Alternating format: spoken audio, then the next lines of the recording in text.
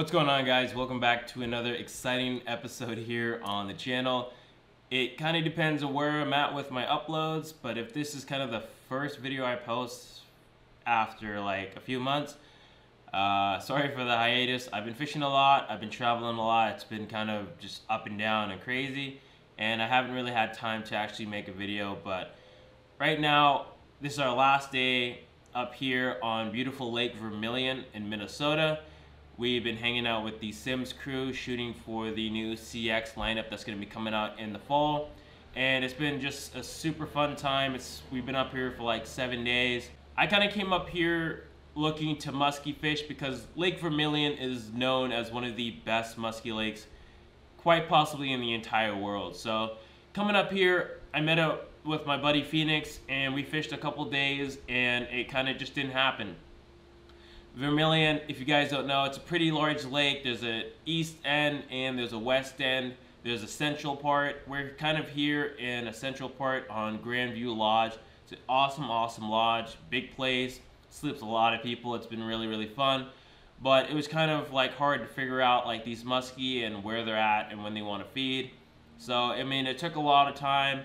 I did a little bass fishing with some of the guys up here and that was kind of fun, but my main goal was for sure to go out and musky fish and try and catch a muskie. And so the grind kind of begins. If any of you guys have seen some of my previous muskie videos, you guys know that muskie fishing is an absolute grind and you have to put in a lot of time and a lot of hours into trying to figure them out. Especially when you're fishing a new lake and the lake isn't at its prime or at its best and it's a huge lake and there's so many different places that look really, really good, but a lot of them just aren't good. So I, I, a lot of time is spent just kind of running and gunning around, thinking of spots where a big fish would live and a lot of days of not catching anything. But luckily enough, one of the dudes here that's kind of run the whole thing, his name is Patterson. You guys, if you guys check out the Hookup Tackle YouTube channel, when we were up in Wisconsin last year in October, we fished with Patterson, really cool guy, and he was here on this trip. And I kind of talked to him of like one of the few nights back. I'm like, hey, like, would you mind if I borrowed your boat to go musky fishing? Because Phoenix had to go back. He had to pick, get a new house. Like, so he had to leave. He had a new house, so I was kind of up here without a boat and nobody really to musky fish. So I asked Patterson, I'm like, hey, you mind if I borrow your boat? And just go out musky fishing. Like, dude, go for it, absolutely. So the first day, I probably fished for like I don't know four or five hours without even seeing a fish. I was running around all over the place, honestly, really just trying to figure it out. And the whole time I'm fishing this lure. If you guys aren't familiar with musky fishing, this is called a bucktail. More specifically, it's a cowgirl double 10 refers to the blade size.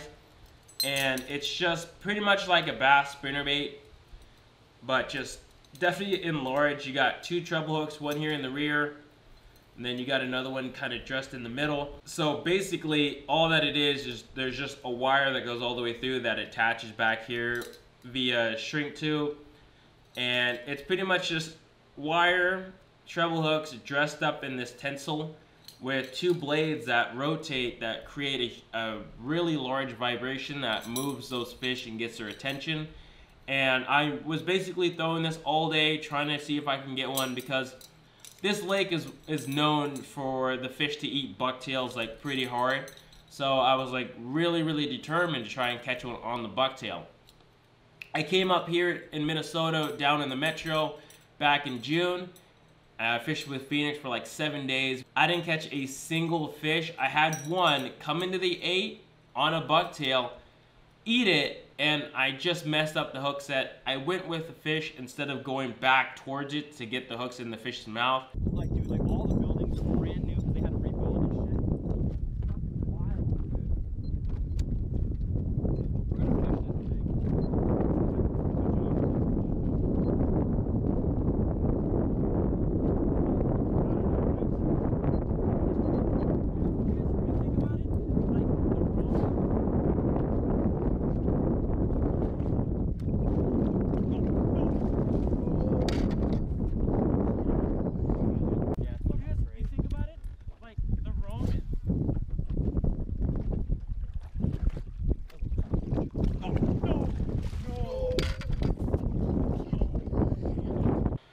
kind of unfortunate, but that's just how muskie fishing goes. That was pretty much my only shot of the entire trip, so I don't really have any footage to really show from that except for the one that I missed boat side, but after that, I was really determined to try and catch one on the bucktail, and up here, I knew I had a pretty good shot at doing it.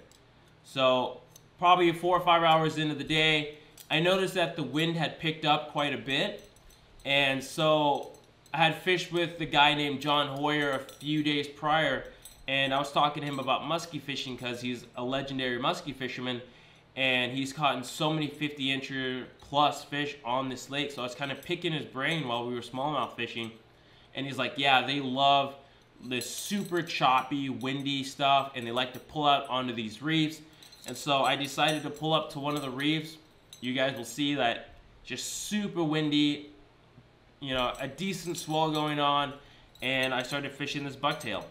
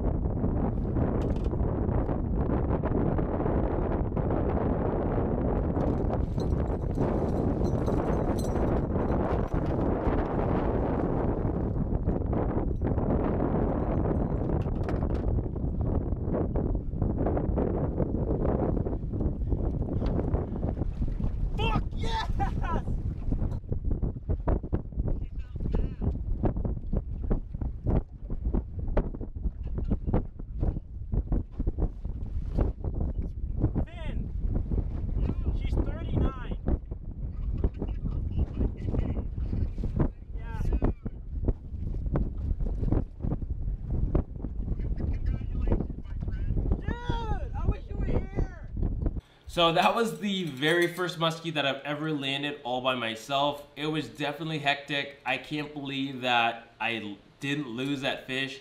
I mean, it threw the bucktail right there at the end. Luckily, when it threw it, it threw it this way, but then turned around and like swam right back into the net, got into the net, and I somehow luckily was able to land that fish. It was just a little 39 inch fish. For up here, like it's an okay fish, but for sure there's just a lot of those nicer grade fish from like 44 all the way up to like 55 inch fish. So I wasn't too thrilled about the size, but overall I look back on that fish and I'm super stoked because I did it all by myself. You know, I didn't have too much help. I didn't have any guidance. Nobody told me to go fish that reef. I just decided to go fish it, saw it on the map, went there, got it halfway back to the boat, and that fish crushed that bucktail. So that was the first muskie of the entire camp. Not really anybody else was kind of fishing for the muskie. A lot of guys were fishing for smallmouth and walleye, and I was pretty much the only dude to do it. And so everybody was kind of stoked on that fish. We got some really good shots of it for Simms, and that was that for that fish. So after catching that muskie, uh, I kind of didn't see another one or catch another one for quite a while even after that. I had probably pulled like maybe one other one that was like a really nice one that I'd been chasing all week, but it just never went. So it kind of started to turn into a grind and I was thinking like, ah, well, maybe I won't catch another one this trip. And if so, that's fine. I mean, it's hard enough just to catch one muskie. So it was whatever in my mind. I was just like, well, we'll keep trying. If not, then that's cool. But it is what it is. That's musky fishing a lot of the times. So the next day, I go out, don't see a fish, don't catch a fish, nothing. So I was kind of discouraged and I was like, well, basically got one more day to kind of figure it out. And that night, I met up with a guy here. His name is Luke. He's another professional muskie fisherman, and he's also a guide out here on this lake. And you know, we just fished at night for a little bit. We talked about muskie fishing, and he pretty much gave me this lure right here, and this is called a flap tail. And that night he gave me this bait. He's like, hey, if you want to catch a giant, like a 50 plus, throw this lure. And I was like, this bait? Like, if you look at it for the first time from like a bass fisherman's mindset, it is like the wildest looking lure. I mean, it's pretty much just like a cedar plug with two arms that extend with treble hooks on it. You got this little blade in the back, and what that blade pretty much does is it twists, turns, it goes side to side, and it makes just like a slight clacking noise. It's a pretty subtle bait overall. There's not a whole lot to it. It wobbles just like a little bit, but that's basically it. And obviously, to my mind, it's like, dude, this thing is crazy. Like, I don't know if I can see a muskie eating it. Like, is it gonna shark it? It's gonna come up from underneath. Is it gonna come to the side? Like, I had no idea, but Luke was confident in the bait. He said he like a week prior he caught a 50 on it, so I was like, sure, I'll try and fish it. And so I kind of picked his brain on when I should fish it, how I should fish it. So with this in boat, I was like, all right, maybe maybe we have a shot at catching a giant. But I was still kind of skeptical about the whole thing because I mean it's an absolutely wild lure. I mean most of musky baits are just crazy, unique baits that really just are supposed to draw a fish's attention. Not really all about the realism with these fish like it is in largemouth fishing. Like with my big swim baits, I try and keep it as natural, as realistic as possible. I mean, you look at like the Batesmith Magnum or the Huddleston, like super realistic baits that have incredible detail. And then you look at a musky bait and it's like, what the fuck? It's crazy. So after this, I was like, all right, let's go ahead and give this thing a shot whenever I have an opportunity to fish it. So basically that night I fished it, nothing. I pulled a really big one on it, a fish that I'd seen previously in the week, but it didn't want to bite it, but I was like, whatever. I mean, I don't expect when to eat this thing. It's crazy.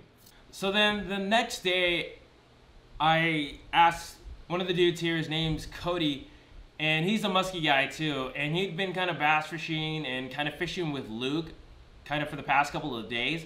And I was like, hey man, like, Luke's not here anymore. Do you want to go muskie fishing? And he was kind of hesitant at first, but then he was like, yeah, sure, let's go muskie fishing. So that morning we fished around for a little bit and we kind of made uh, an executive decision to run over to a different side of the lake that I hadn't fished before. And he's like, yeah, I've been seeing them over there recently. I just don't know if they're going to bite or not. But I was like, hey, fuck it. Let's go run it up. So we go over there and we're probably like four or five hours into the day. We haven't seen really much. We fish a weed bed.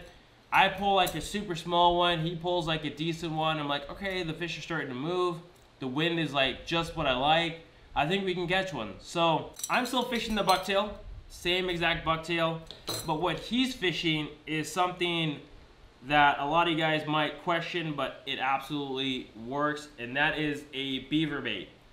Beaver bait is basically what it is. It looks just like a beaver. You got this tail back here, and you got this heavy lead head up in the front. So it casts really, really good.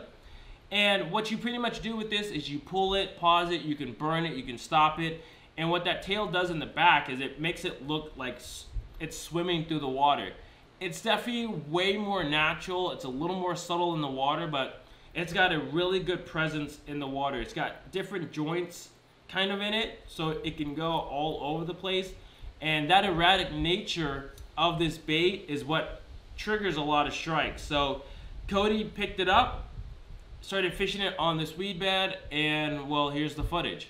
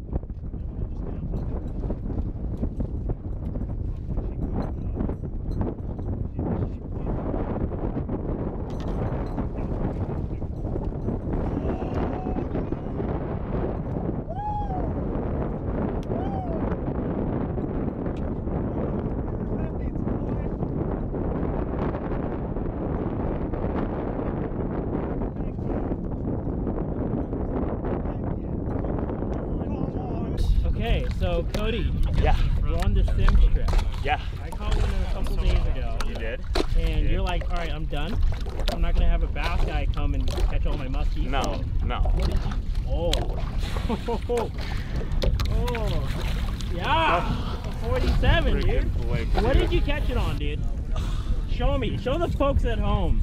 Do you guys bass fish with these? Dude, that's a beaver bait. it's a beaver. It's a literal rodent. Look Dude, at this thing. come on. Look at this bait. Look at it. Look at it. Look at that. Is that, that the dumbest thing you've ever seen? Dude, musky lures are insane. Yeah. Oh my gosh. Dude, all right, show what us an fish. epic, epic fish. Show us this fish, dude. You look happy. I'm stoked, man. I normally come out with the expectation of nothing's ever gonna happen. So when it does, You were bass fishing practically this whole week. yeah, week. yeah. Been itching. Look at the, Dude. Look at the yap on that.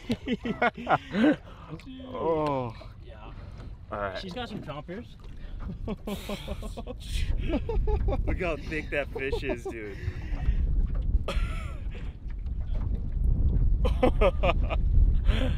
Dude, show me broad. Oh, Yeah. just a beast.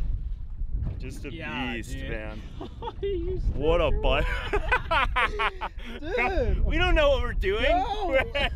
we're not supposed to do this. Woo! What a- 47, dude. 47. Heck yeah, All right, man. we're gonna snap some pictures. Yeah,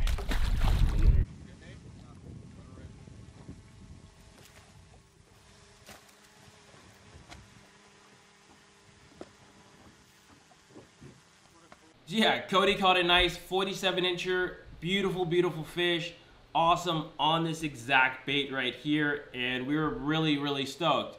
He had finally caught one, it's kind of like a slump buster for him, so it was dope to net it and the whole thing go down. It was really, really rad. So, and I just remember him, what happened was he got bit, swung, and then the fish tried to turn around, eat it again, and like since the fish was so long, the bait kind of got like, I guess he, the fish missed it and it got it in the back. But yeah, that fish was kind of jazzed on the bait and he was really, really stoked on it. Earlier that day, Luke actually caught a 52 incher on the same exact bait, and that's why Cody decided to put down the bucktail and throw this thing.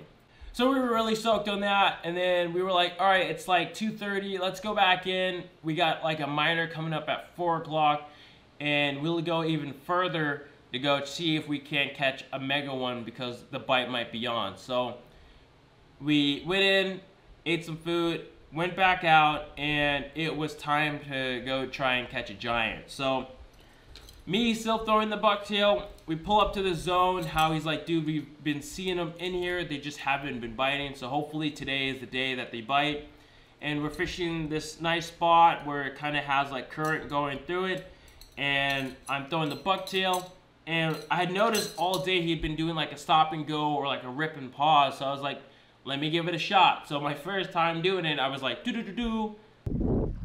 I like to think of these shield lakes as almost like a river.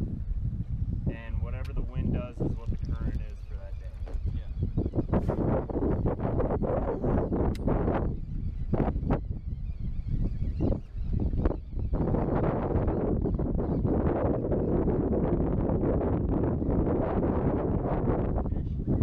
You got-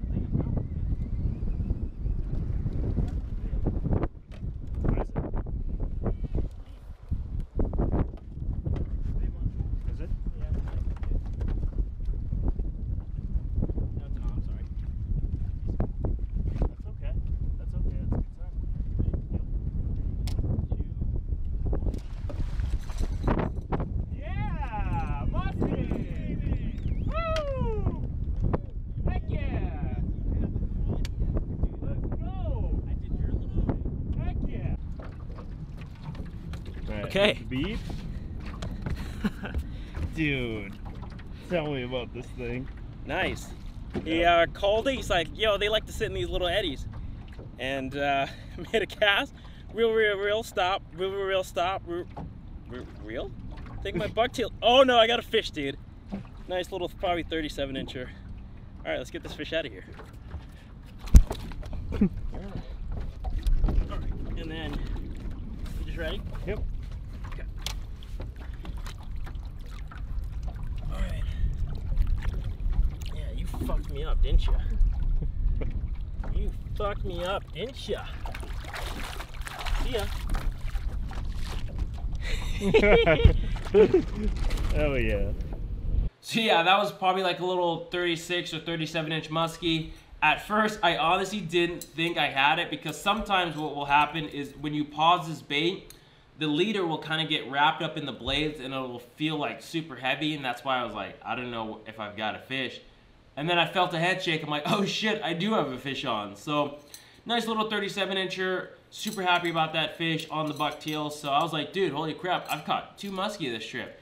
This is absolutely insane. So, you know, I'm stoked and he's stoked and it's like, all right, dude, they're in here, they're in here, like keep casting. So I'm kind of getting like the camera gear re like set up, putting it away.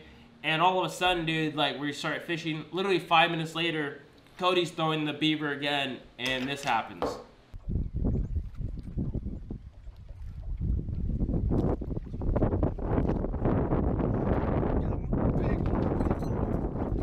Big, big, big fish.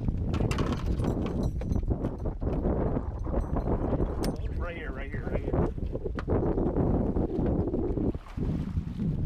Fuck yeah, man. Fuck yeah, they're turning on. It's now. It is now. Let's go. Dude. Let's go. Let's go. Let's go. Hold on. Hold, net, net up. Players. Yep. Need players now.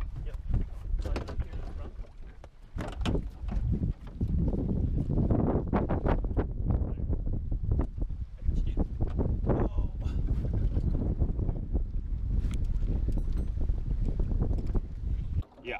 So I just caught one. and you just Hey, got Jeff. one.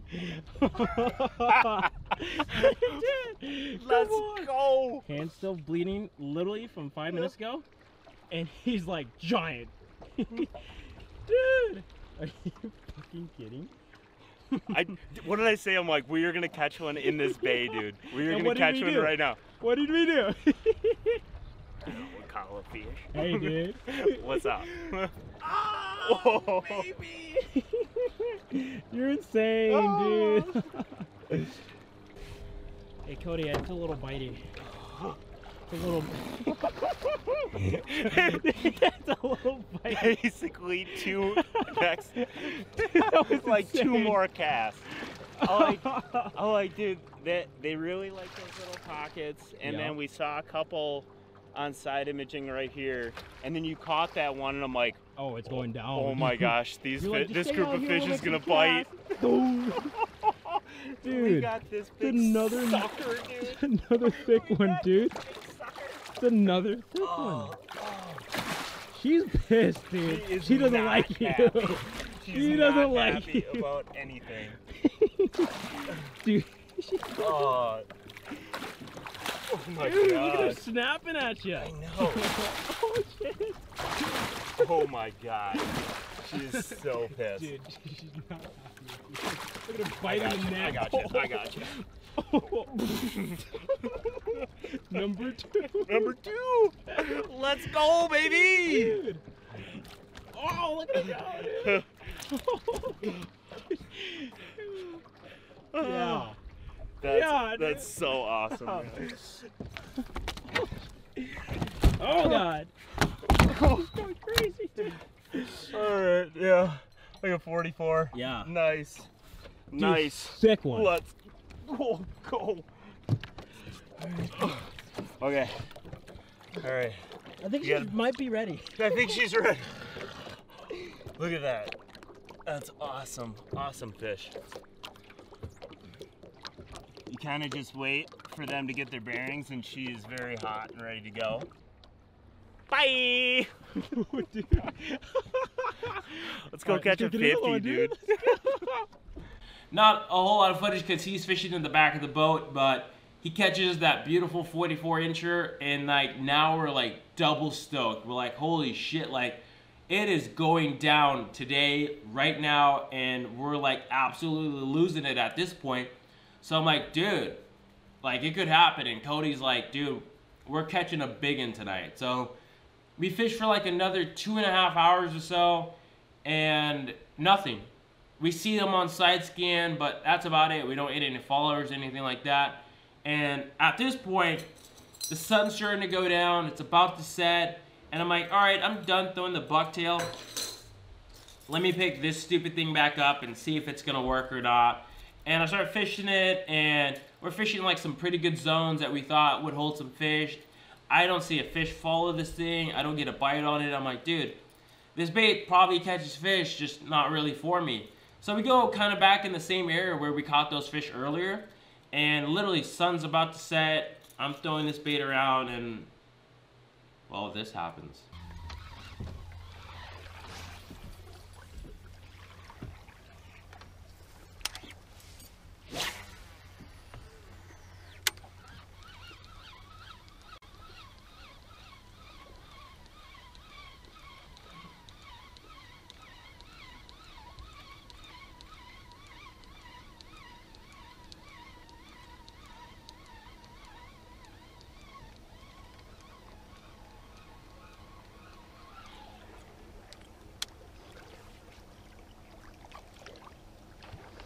Oh, God. Got him, dude. Nice. Nice. Head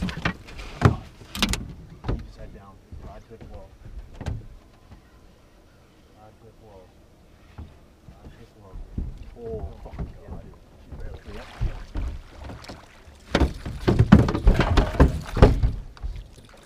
Oh, my. Oh. Oh my god, dude, that's a, that's a fucking monster. That is a fucking monster, man. That is a fucking monster. Oh my god, dude. What Dude, that's a that? fucking monster. There's your 50, dude. That's your 50, dude. That's your 50. That's way over 50. Way, way over 50. Way, way over 50, dude. Dude, way over 50 the fucking cleat. Oh my god, I'm so sorry. I never do that shit. Dude, Dude, I- you got. Dude, Dude, thank you. dude, Thank you. that Thank spot's you. so good. Dude, did you see, Dude, oh, I watched it. did you see that fucking bite? You gotta get your ass over here right now. Giant. Jeff just caught a giant. Oh my god. Dude, that's a fucking giant, dude. That's a Jeff. fucking Jeff, that's a fish of a fucking That's a lifetime, man. fucking Dude, that's a dude. fish of a lifetime. Dude, that we just a did it. We just did it, dude. We literally dude. it, That dude. is the fish of a lifetime. Holy shit. Oh my god. Jesus, Jeff. Jesus, Jeff. You recording? Yeah, yeah. Oh, Jeff. Oh, Dude, a 53 and a half. 53 and a quarter? 53 and a half. Yeah. 53 53 and a half, dude. Oh, 53 and a half. Oh my gosh, Jeff. Oh my gosh, Jeff. Oh my gosh. Oh, that's perfect. Bender, bender tail towards me. Put this knee, this knee up, this knee up, and balance your balance your elbow on your knee. If you know what I'm saying, that'll help. All right. Tilt her a little towards me, so that tail flex out. Yep, beautiful, beautiful. Oh my gosh, Jeff. That's it. Oh my gosh. What a beast. What a beast. What a beast. This thing's huge. Dude, that is. You're gonna have so hard of a time beating that. Way to freaking go, dude. So yeah, absolute pandemonium. Uh, fish of a lifetime. 53 and a half inches. Just absolutely shatters my previous personal best at 41 and a half. Uh, I couldn't believe it. Unfortunately, the the boat angle wasn't with the fish eat, but I just remember having the bait going like this back to me and seeing this white mouth come up and do this and just start shaking and I'm like, does it have it? And that's when I start to swing in and load up on the fish and it it kind of just gets drug in like you would think like a giant bass would be. It's just uh, getting drugged in, and that net job was just.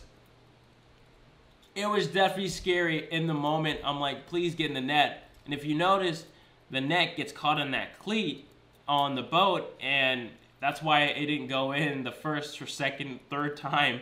But luckily enough, the fish was hooked just well enough right on the top of the mouth with just one treble hook on the back, and we got the fish of a lifetime. Um, honestly, it still really hasn't hit me because that was last night, and I still hasn't really processed with me because that's just that's a giant fish. That's a really really big muskie. Catching a 50 or a 51 is like super impressive, but catching a humpback 53 and a half is something that I'll never forget probably for the rest of my life. And on the bait that I honestly didn't think I'd ever catch a fish on, but Luke was right. If I wanted to catch a big one, you throw this thing. So, I mean, absolutely huge shout out to John Hoyer, to Luke, to Cody, and Patterson for pretty much the encouragement, the advice, the guidance, and just overall being really cool guys and kind of telling me and teaching me all the ways of muskie fishing up here on beautiful Vermilion. Uh, I can definitely see myself spending like a couple weeks up here trying to figure out and catch an even larger grade fish because I think like the second thing I told Cody, I'm like, what now? Like, how, like how hard is it to catch a 54 or 55 incher now? Like, they only get so big after a while. So, I mean, other than that, like, it's gonna be a grind to catch a 54 or a 55. So, I definitely have some time to try and beat that. But I mean, I think that's my fifth time muskie fishing ever, and um, it's insane. It's absolutely crazy. So that's basically our trip up here. We're about to leave, packing up the cabin right now. Huge shout out to everybody here at Simms for being so cool for this past week. It's been really, really awesome. And until next time, thank you guys ever so much for watching. And as always, go out there and chase your dreams.